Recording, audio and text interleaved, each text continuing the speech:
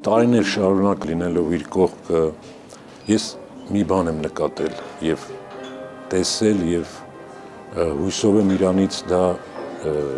սովորել եւ վերցրել եմ. Մարդ սիրել մարդ հարգել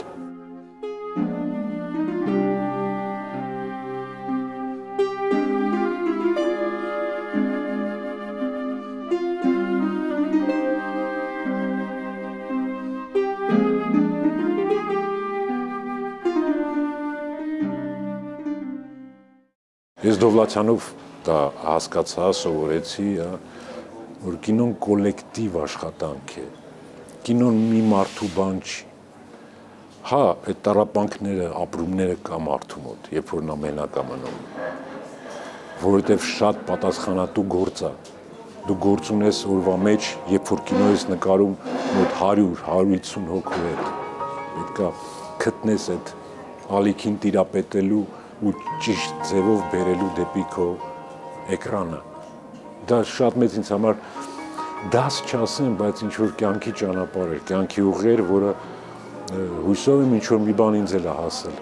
այդ առումով։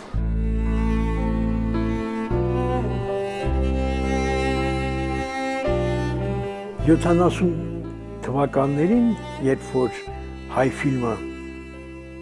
ծաղկուն վիճակում էր, եւ մի քանի տասնյակ նույնիսկ ռեժիսորներ կային,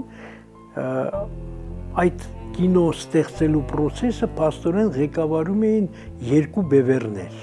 Մեկը Ֆրունզե Դովլատյանն էր, մյուսը Հենրիկ Մալյանը։ Եվ երիտասարդ ռեժիսորներից շատ շատերը այն թվում եւ ես այն ժամանակ երիտասարդ մենք ուրեմն տարբեր բևերների վրա ենք։ Ես օրինակ Մալյանի բևերից էի։ Մյուսները, օրինակ Սուրեն Բաբայանը եւ այլ իրանք Դովլատյան։ Դովլատյանն ու Մալյանը շատ լավ հարաբերության մեջ էին։ Իրանք ոչ թշնամի էին, ոչ էլ հակառակորդ, բայց այդպես էր ստացվել։ Կային Մալյանիստներ ու Դովլատյանիստներ։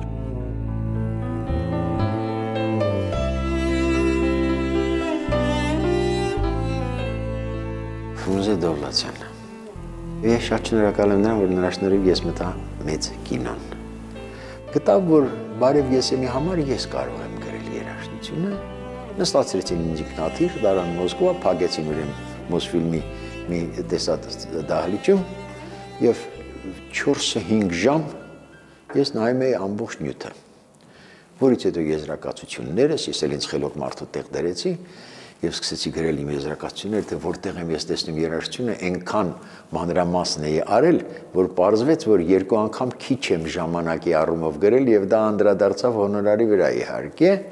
բայց ես չեմ դժգոհում, որովհետեւ ես արեցի այն, ինչ որ ես էի ցանկանում եւ ինչ որ ես էի տեսնում ֆիլմում, համընկավ Դովլատյանի պատկերացման հետ։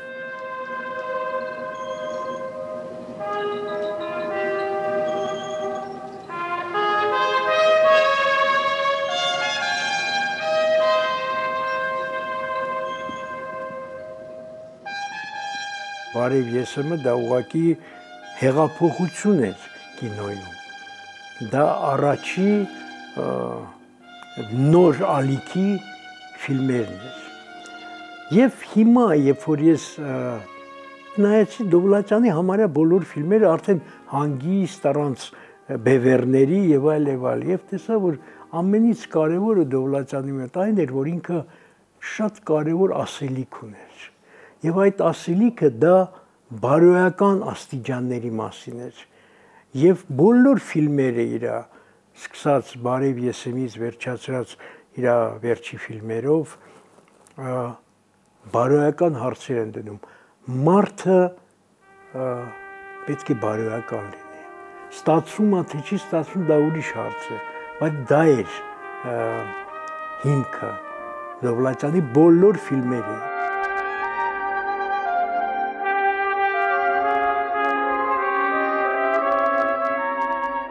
հոտվածս լույս տեսավ իմ ռեցենզիան ավելի ճիշտ. Ծանոթացանք ես հպարտ էի եթե ճիշտ ասենք նրանով որ ֆրունզը դովլացյանը այդ ֆիլմերի հերինակը Զդրաստվետյան ինչ որ ես կոնտակտ ունեմ հետը եւ այդ վերաբերմունքը այդպես էլ մնաց որպես մեծ վարպետի ես կասեի ինքը մաստեր ոնց որ ասում են այդ մաստերությունը այդ պրոֆեսիոնալիզմը իր եւ իր գումարած իր դիրքը արտակինը ինձ մոտ այդպես էլ մնաց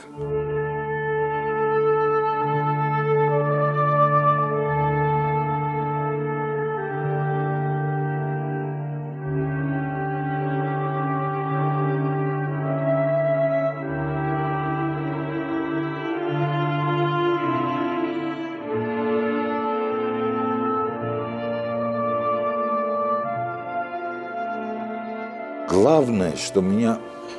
вот сейчас вот приходит, я говорю, насколько он был тонким. Принято всегда говорить, да, когда юбилей, ранимый, тонкий. Он был тонким и был ранимым человеком.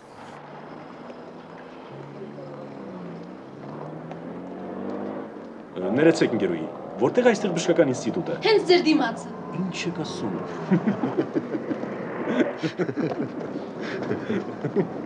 Լսիր Արտյոմ, արի վերադառնանք լեռները։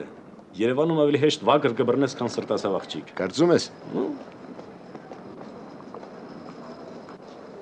О, Зарян, привет! Մ, Здравствуй։ А, ты извини, я спешу. А, Спеши, спеши։ Սա ով է։ Ինչ իմանում։ Привет։ Դե լավ գնացինք։ ասում էին, որ Մալյան Դովլաթյան դա տարբեր բևերներ են։ Բայց ես ինչքան հասկացա, ես հետո հասկացա, որովհետև ինչ որ բաների ես վկա եղել եմ։ Նրանք շատ մոտ էին։ Նրանք շատ բաներ միասին որոշում էին։ Կադրից դուրս։ Կյանքի կադրից դուրս։ Նա այն ինչ որ տեսանելի է, հա, իրանք իրանց կինեմատոգրաֆը նույն ժամանակ մտավ հայկական կինո այդ վերելքը եղավ հա թե Դովլաթյանի բարևիեսը թե Երանկյունին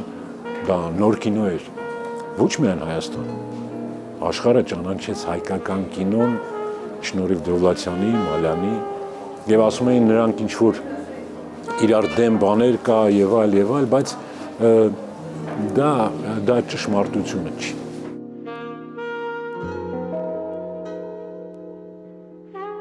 Ֆրունզե Դովլաթյանը ընդհանրապես հայ կինոյի մեջ դա ինտելեկտուալ կինոյի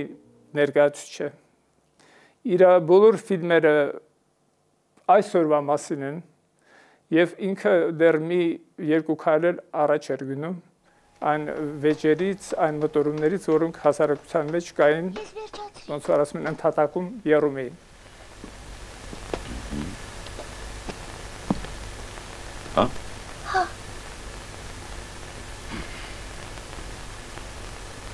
Գրիր։ Տնային աշխատանք։ Ղազարո Սաղայան։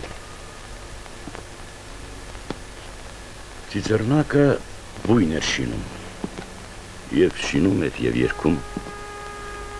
Ամեն մի շուխ կպցնելիս առաջվա բույններ հիշում։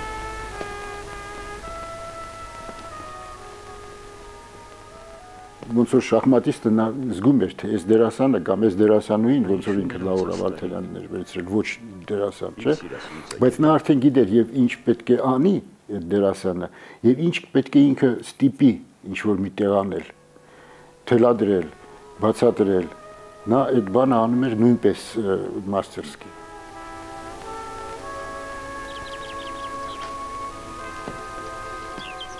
դերասանները բացահայտ է շատ շատերը իր ֆիլմից հետո են դարը կինո դերասանը Ջիգարխանյանը Ֆաբանը Ֆաթիևան Տերեխվան իրանք բոլորը մինչև այսօր իրեն հիշում են որպես իրենց դասախոս դասատու Յավուրյանը իր ֆիլմից հետո բարևեսը որ փայլուն նկարահան է շատ հետաքրքիր ձևերով ռակուրսներով դարավ հայտնի եւ արդեն շատ-շատ ֆիլմերում ինքը աշխատում էր իսկ Դովլատյանը իր համարյա բոլոր ֆիլմերը նկարել է Յավուրյանի հետ միասին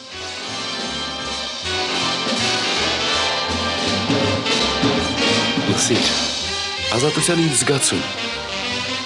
Այ հենց այդ ազատության մենք միշտ կարոտ մնացել ենք։ Ամեն ինչ հասկանում եմ, Լյուիսյան, ամեն ինչ։ Ես բոլորը հասկանում եմ։ Եղ ժողովուրդ, անցյալը շալակած քաշ մի դրեք։ Դա ծանր բեռ է։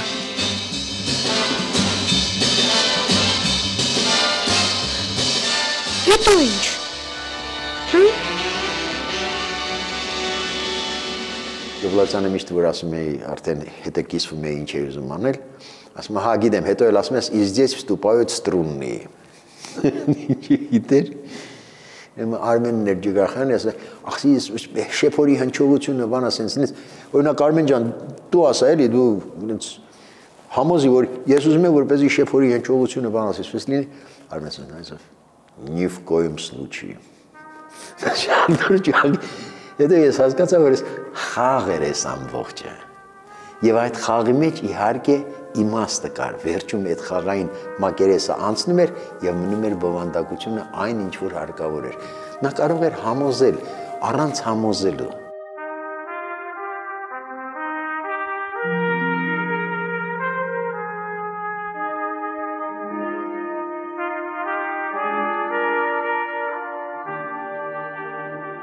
Что такое разговор о режиссуре? Это разговор о жизни. А что такое разговор о жизни? Это разговор о Боге. Так получилось, что мы в начале 90-х вдвоем по проблемам сердца лежали в клинике четвертом управлении. Три месяца.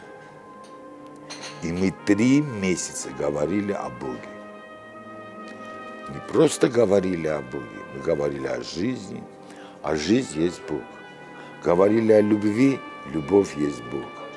И так далее. Это настолько глубинный процесс был, и настолько личностный, что я вряд ли когда-нибудь даже не напишу. Но помню очень много. Ամբողջ կյանքի ընթացքում ընդամենը 8 ֆիլմ է նկարահանել։ Դա շատ քիչ քանակ է իր տաղանդի եւ արվեստագետի մասշտաբի համատաբար եւ ես վստահ եմ, որ իր լավագույն ֆիլմը ինքը չհասցրեց նկարի, որտեվ գնալով ֆիլմից ֆիլմ հասունանում էր ինքը որպես ռեժիսոր, օրինակ վերջի ֆիլմերը մենավոր ընկուզենին եւ կարոտը իմ ինձ թվում է հիանալի ֆիլմեր են,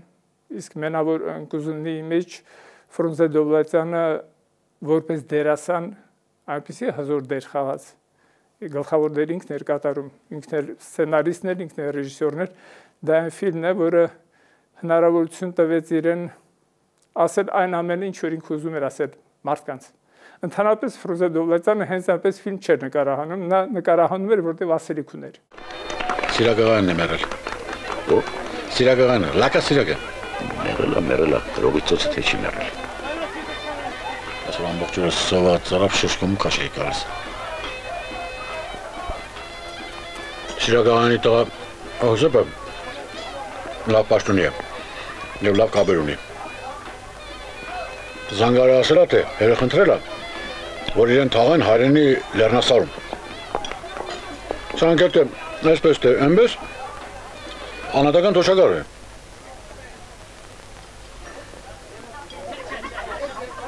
Եդի երբ տարավան հատական թոշակարու ոնց ձեր քծեց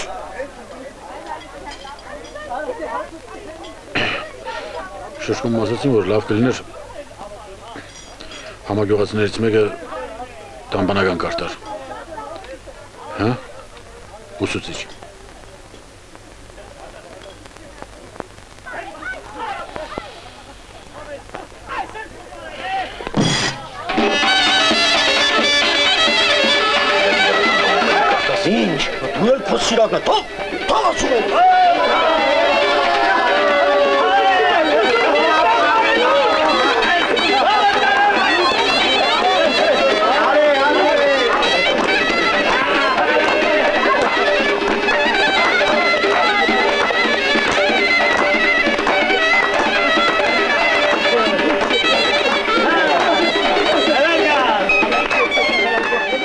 Դովլացյանի ֆիլմերից ես հետո հետո համագործակցել եմ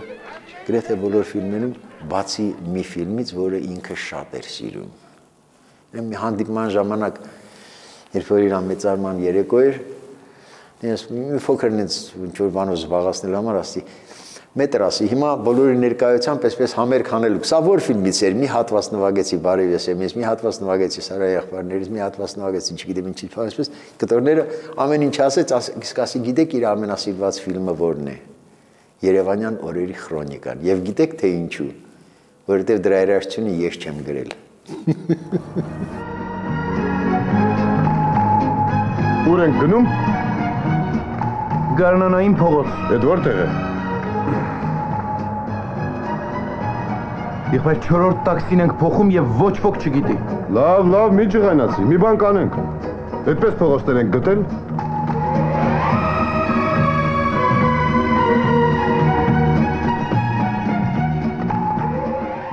Շատ խիստ էր ինքը իր հանդեպ ինչ որ մի բան երևում էր կողքից, բայց ես համոզված եմ, որ մի 10 անգամ ավել նա ինքը իրեն ուտում էր, այսպես ասած, ինչ որ սխալների համար։ Եվ պատահական չէ, որ այն ժամանակվա կինոյի մինիստրը Հայրանն էր, որը էլի Ֆրունզին շատ վերաբերում էին հարգանքով բան, բայց դուբլ 2, դուբլ 10 Դրա համար ժապավենը այն ժամանակ ժապավենը ծախսում էր, գումար չկար, գումարը վերջանում էր եւ Ֆրուզը շատ էր այդ բանի համար շատ էր ինչու որ իրան անվանում են որպես դուբլի բան եւ շատ էր նո կա մարդիկ որ ասում էին դե հա ես էլ եթե 100 դուբլ նկարեմ մեկը լավ կլինի բայց ինքը այդ բաները բանի տեղ չէր դնում որտեվ գիտեր թե վերջում ինչ ինչին պիտի հասնի ինչ պիտի անի վերջում ինչ պիտի ստեղծի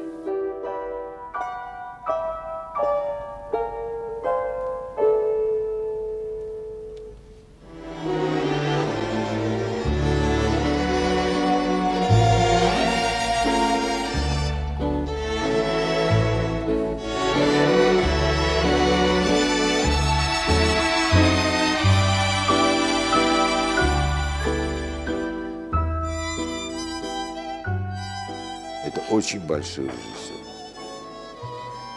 и который признавал свои плохие фильмы. Не перед кем, а вот отдельно он четко говорил, вон там,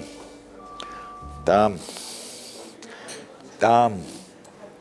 Так было это, потому что он такой монолитный, красивый мужчина.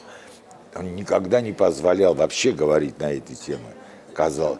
а вот когда уже и больные были, сидим так, и вдруг четко говорил, ах, если ах, вон Семичу, там бы снял вот это, там бы чуть поменял бы. То есть процесс шел невероятно в нем. Շատ էր սիրում հյուր ընդունել, շատ-շատ էր սիրում հյուրեր ընդունել, սեղան գցել, իր սիրած խմիչքը կարմիր գինին էր, որ մի քիչ գինովնում էր, թմկաբերթի արում էր սկսում արտասանել սիրած պոեմներից մեկն է Թարապես Թումայանին շատ էր սիրում երգում էր երգում էին խորենի հետ Աբրամյան հա դա դա դա ներկայացումներ էր Միար ունեի չինար բոյով տեսքով աննման Սիրունների թագույն էր սիրով անսահման Միար ունեի չինար պատից կախվածին ջուտակը ընգապ կոտրվեց Լացո սրտիս վերջին անգամ արձագանք տվեց Հայ ջան, սիրուն ջան Ինչ կա Այդ գրած Սուրմելյանն է գիշեցեք, տանում ատանում այ դերին։ Դա ներ, բա ինչ ես ասում, լուրջ գործ են անում, երեխեք չեն։ Ինչ է Սուրմելյանի հետ լավ չի։ Զանգում էր այդ տղա ուր ես 2-3 օրա չկաս։ հատ զանգի էլի, հերդ ոնց է, բան։ Ասում հա ոնց ես։ Որտեվ ես գիտեի իրական։ Դե երբ կլնես, ասի հենց հիմա գալիս եմ։ Լավ, արի։ Գալիս մտնում էի, դնա մեծ սենյակում նստած մեծ սեղանի շուրջը մեջքով կինը բացում էր ինձ դուռը Պրիվետ Միկա, ոնց եք բան համբուրվում էին, բան մտնում էին ներս ու պասիանս է բաժում։ Գալիս էի, նստում էի բազմոցին, ինքը դեռ մեջքով է։ Հմ, ոնց ես։ ասում եմ ոչինչ, Վաղենակի ջան, լավ եմ, դու լավ լնես։ Հա, հեսա։ Ու դա կարող է շարունակվեր, մինչև ես գնայի, մի հատ համբուրեի, պաչեի, բայց տենց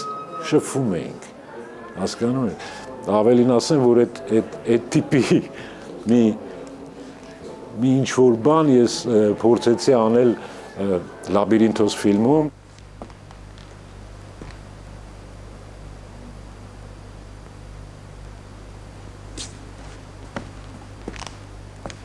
Գիշերներն արտանում եմ այն բանից, որ ինչ-որ մեկը տարօրինակ ձայնով գոռում է, կանչում։ Գիտես ով։ Սկզբում չեմ լսում։ Բայց արտանորեն պես սարսափով հասկանում եմ, թե ինչ եմ գոռում։ Ես գոռում եմ իմ անունը։ Անդրեաս։ Անդրեաս։ Գոռում եմ կարծես թե կորցրել եմ Անդրեասին։ Երևի իր ամենասիրելի ֆիլմերը եղել են իր չնկարանված ֆիլմերը։ Եվ ինքը շատ ճիշտ կարողացավ, ասենք 20-րդ դարի մասին պատմել իր ֆիլմերում, էլի Հայաստանի իր երկրի մասին, թե դա լինի, ասենք, երկունքը, թե դա լինի կարոտը, ինչ որ ժամանակաշրջաններ էին։ Մենավոր Ունկուզենին, որը երկար այդ վերելքի ճանապարհը բարև ես եմ нор шунч. Я ему говорю, ты свой диагноз давно подписал, когда стал кинорежиссером, честным кинорежиссером. Потому что он нечестных фильмов не делал. Вот не делал. Или? Все говорили когда-то рождение, рождение. Рождение это мощнейший фильм. Какие люди были, куда они делись? Да всех перестреляли в 37-м. Чаренцы начинает. Вот про кого он снимал. Մեր չի կարելի։ Ինչ կարելի է։ Ասում եմ չի կարելի։ Ինչ կարելի է։ Ինչ կարելի է։ Բարև ձեզ։ Դուք միասնիկյանն եք։ Ինչ է շուրալու։ Նա ասում է թե մանդատ ունի։ Ներկայացրեք։ Թողեք։ Բաց թողեք։ Ես Չարենցն եմ։ Ամենամեծ հայ պոետը։ Եթե չհաշվենք Թումանյանին եւ Տերյանին, իմիջիայլոց Ձեր մասին ես լսել եմ Տերյանից։ Նա էլ ինձ տվեց կարդալու ձեր բանաստեղծությունների գիրքը։ Տերյանը հնաբույր է։ Նա չհասկացավ իր ժամանակը։ Նստեք։ Դրա փոխարեն հիմա ժամանակը հասկանալու համար պիտի հասկանալ Տերյանին։ Դուք նրան սիրում եք։ Սիրում եք նրա քնքուշ տաղերը։ Բայց ինձ հետաքրում է ոչ թե պոեզիան, այլ քաղաքականությունը դրամայել եկել եմ ձեզ մոտ։ Եվ ճիշտ եք արել։ Դուք այսօր ձեր պատվին կազմակերպված միտինգում ասացիք, որ Արցունքի հովիտ Հայաստանը կդարձնենք Վարդերի հովիտ։ Ինչպես։ Հայաստանի լավագույն ներկայացուցիչները գտնվում են Հայաստանից դուրս, այդ թվում եւ ձեր բարեկամները։ Մարտիրոսարյանը, Բանաստեղծուի Կուրղինյանը։ Նրանց բոլորին պետք է հավաքել։ Ուր է մեր ինտելիգենցիան։ Առանց ինտելիգենցիայի մենք ոչինչ չենք ստեղծի։ Ես միայն մի հարց ունեմ։ Երեխաներ ունեք։ Այո, աղջիկ։ Նրանք պիտի փոխադրվեն այստեղ։ Ձեր կինն ու աղջիկը։ Հայաստան պիտի գալ ու մնալ ընդմիշտ։ 25-26 տարի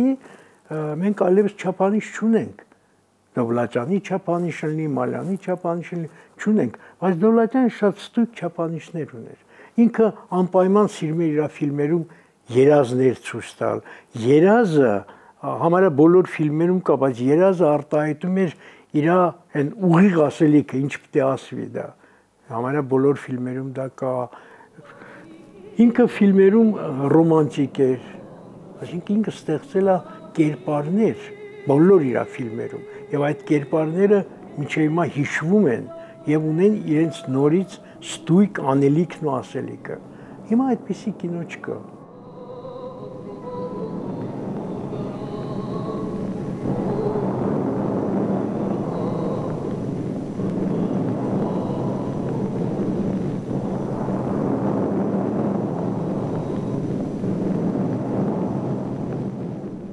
Մենք վերջի տարիները ընկեր էինք, ավելի շատ, քան հայր եւ որդի, որովհետեւ նույն տեղն էինք աշխատում, հա, նույն մասնագիտությունով, ասենք, կինոռեժիսոր եւ parze դա պետքա ինչ որ այդ հայր եւ որդի հարաբերությունները մի քիչ անցնեին ուրիշ որակ եւ նրանք անցան դա նա կարողացավ դա շատ ճիշտ ձևով անել